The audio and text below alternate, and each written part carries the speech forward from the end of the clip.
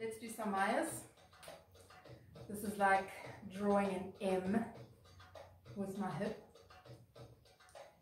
It is using the vertical hip slide and the horizontal hip slide as well. So just like with our drop kicks and hip drops, I'm actually going to be weighted on the opposite leg. Um, some people teach Maya on the same hip. My brand of Maya um, is on the opposite. Okay, so just so that you know, opposite hip. And I'm going to think about lifting that hip up and then sliding it across and then down. And as it goes down, I'm going to plant my weight. So I'm weighted on the right, my left hip is free to come up, slide it out and down, plant my weight. So I can do this um, on the spot. It doesn't have to be like, mm -hmm, right? But lifting the heel with that hip. Squeezing the hip up, the heel comes with it. As it goes out and down, heel goes down. I do find sometimes my, my feet tend to roll a bit with this one.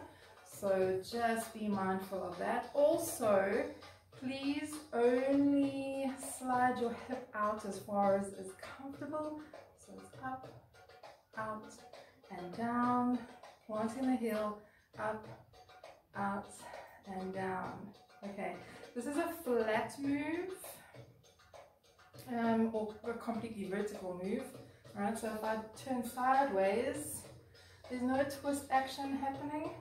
Hopefully you can only see this one going and the other one behind me you can't see because I'm not twisting around. So it's straight up, straight up, straight down. My weight ideally, well, my chest. I'm going to try and keep my chest out of this movement. So that's below the belly button. Uh, nothing is happening.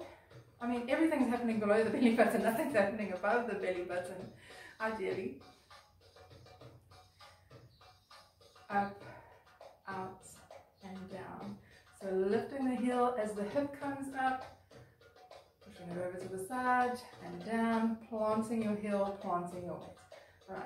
The reason why I like this particular unweighted Maya, and I just noticed what I'm doing here, like the, unless you want to be like super fancy on purpose, um, like I'm saying, keeping the chest out of it. So again, like this is hard work that's happening here, right? So if everything's moving, um, what are people going to look at? You want them to look at your hips. Okay, so keeping this as still as possible. Eyes. So coming back to what I was saying, um, the reason why I like this particular unweighted Maya is because with that little transfer of weight, I can actually walk with this one. Okay, it's easier to step. So I'm coming up and over, step, up and over, and step. Want to go back, lifting the hip up and over, step the foot out and on. This one I can do in place. Stepping Mayas in place and out